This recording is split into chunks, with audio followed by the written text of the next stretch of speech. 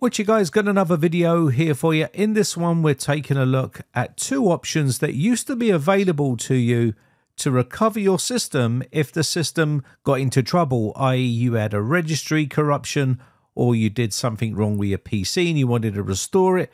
We're going to be taking a look at those two options and what is available to you now uh, in 2024. So first off, let's have a quick look at the first option that used to be available to you, which is now turned off by default, and that is called System Restore. If we type Restore in the uh, search area here and create a restore point, you'll see by default this is turned off. Now, this never used to be the best option to try to recover Windows, and uh, it is a legacy sort of restore, but basically it was a, a safety net that you could use, and it has worked for me in the past, but it's not perfect. But it was an option that you could use to try to recover Windows if you needed to. Now, I'll show you the other option, and I'm talking about you can re enable this feature if you wanted to. And we can talk about that in a second after today's word from today's video sponsor. CD key sales. If you're looking for cheap Windows 10 Pro or cheap Windows 11 Pro OEM keys, then check out the links in the video description. Head over to CD key sales and create yourself an account and then choose the product you want to purchase and use my promo code here, capital B, capital R 09 and apply that to your order. Just put it in the promo code box, apply it, and you'll get a 30% discount on all your purchases. Once you submit your order, they will send you your key. You can use that key to either upgrade from Windows 10 Home or Windows 11 Home to Pro, or you can use it to activate your version of Windows once it's installed, just like you see on the screen. Now, the other option was RegBack. Now, RegBack used to be a part of Windows. When you go into this PC, into your C drive, and into Windows, and then come down to System 32, this was a common area inside here to try and recover Windows. If we go to config here and then go to regback, you'll see it right here. If you go inside here, you'll see that it's empty. And that's because uh, Windows doesn't use this anymore. Now, there is a registry hack that you can use to re-enable the regback feature, but you will need to go into Task Scheduler to basically re enable uh, this option. Once you do your registry edit, you'll be able to go into Task Scheduler and re enable this. Normally, it's stored inside here, inside your Task Scheduler, but it looks like in this version of Windows, it has been removed all of a sudden. So maybe they're just trying to get rid of it altogether.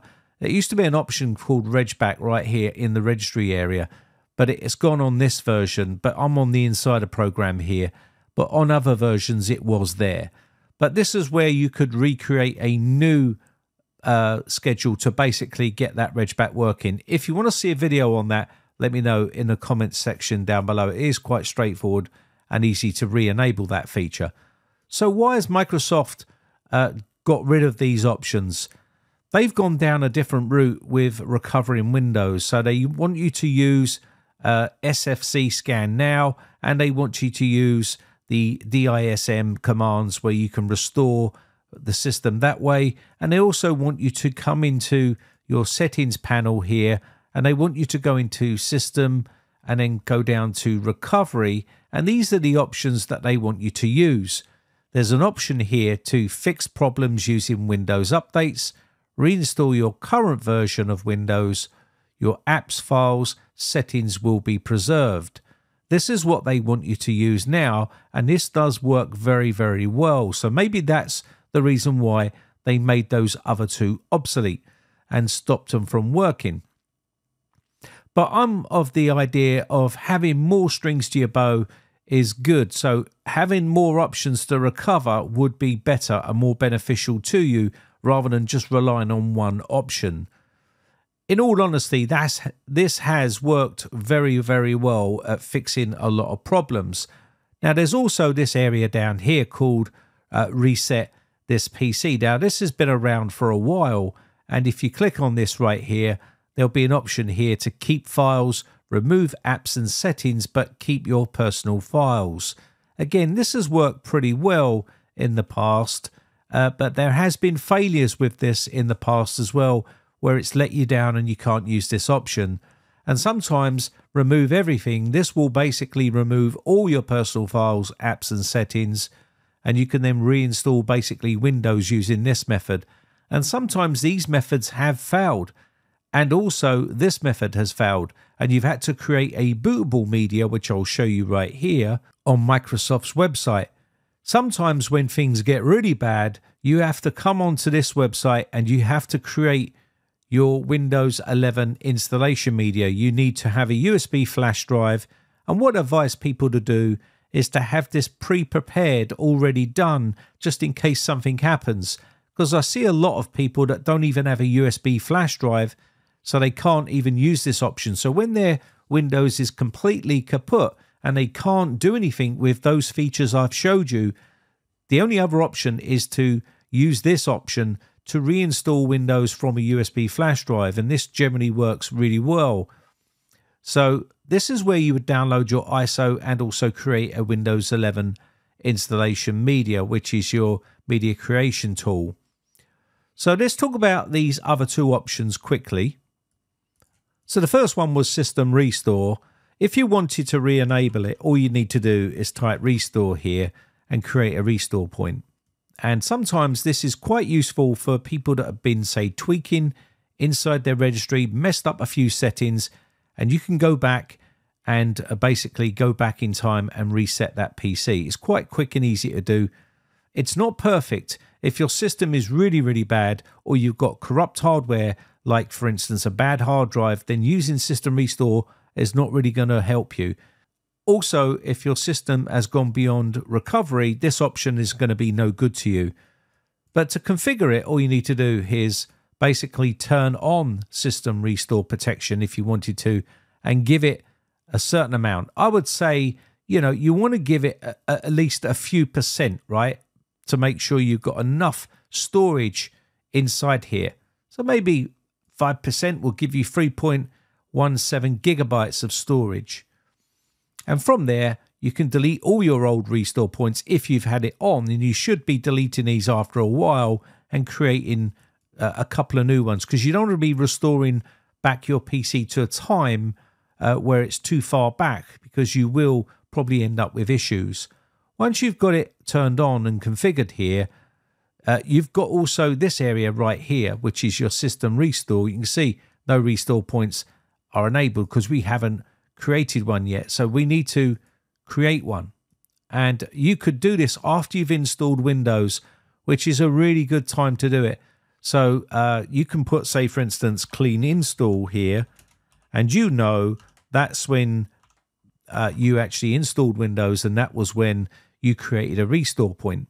And you should give them good names, like before installing driver, for instance. So if you installed a driver on your system, you should do this before you install a driver. That way, you can roll back to a time before you install that driver if it causes an issue during the installation process. This is what this is good for, is doing a system restore point before you do any particular type of uh, installation of a program or installation of a driver or maybe a registry tweak or a registry change or something like that. It's always good to do a system restore point and name it so you know exactly.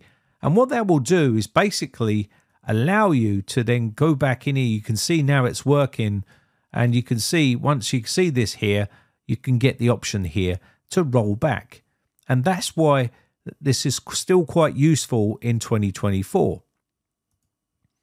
Anyway, that was the system restore point. Now, you can re enable uh, the regback option inside Windows. And if you want to see a separate video on that, I can do. But I prefer using another option, which is from tweaking.com, and it's called Registry Backup. Now, there's quite a few different applications you can use to do this uh, Reg Backup. And we're going to go ahead and I'm going to come down here to the installer. This is the free option here. There's a portable one here. But let's go ahead and download the installer here.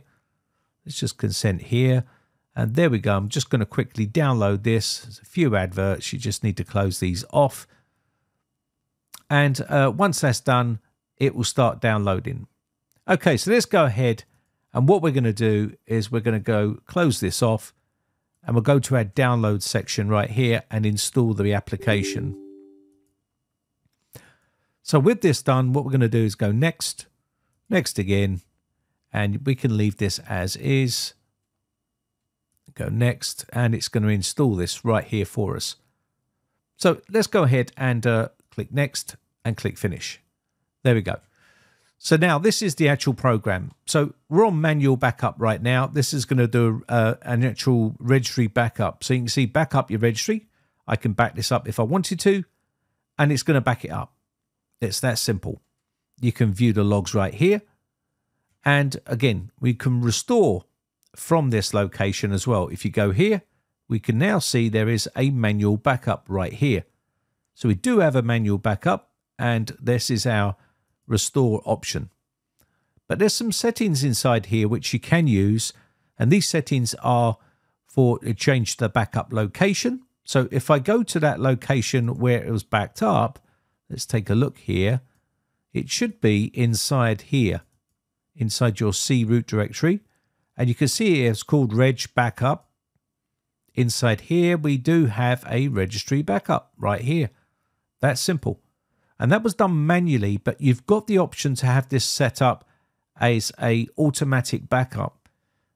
So you can see auto detect old backups, that is enabled. Delete backups, seven days or older, keep at least five backups. So it's going to keep five backups for us, but it's going to delete backups uh, seven days or older. And you can change these options if you want to and we can run under the current uh, user account or we can run under system account. From here, check for updates at the run of startup. If you wanted to stop that, you just take the tick out. And from here, you can see run options, current user account minimized. That means it's going to be minimized and we have normal or we have hidden. So you can hide it if you want to and it will do it in the background. This is where the create a schedule is. So let's go ahead and do this right here and it's done. Now that's going to run automatically for us in the background and it's going to back up at least five backups. If you want to look at this, you can click on this one right here and it's going to go ahead and it's going to show us the actual schedule that we've uh, created here. This is it right here. Well, the program has created it. We haven't touched it. But right here, you can click it and have a look at it and you can see it's been set up as to run highest privileges, run only when the user is logged on. Let's go to the triggers at logon, and you can double click this and also take a look at the settings that they've set up for their option at logon. Any user, delay the task for five minutes. So when you log on, it's going to delay that for five minutes here. And this has been enabled right here. So let's quickly close this off. Go to actions start the program and it's pointing to start a program and it's pointing to the pro program's location, which is pretty straightforward. It's added the argument of forward slash silent, which means it's going to run silently in the background. It's not going to disturb you. And it's also going to start in the option you can see here, the option right here, reg backup. So that's what that's done. And then you've got some conditions that they've set up here and some settings and that's pretty much it. So that's ready to go.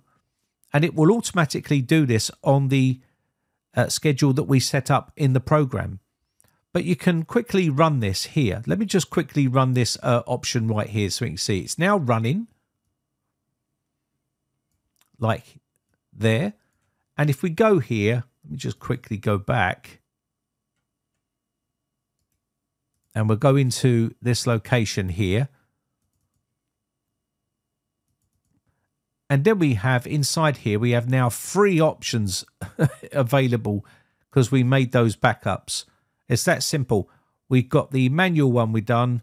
When I configured the scheduled backup, it automatically done that for us. And then I just did one myself by running it again. So now we have three.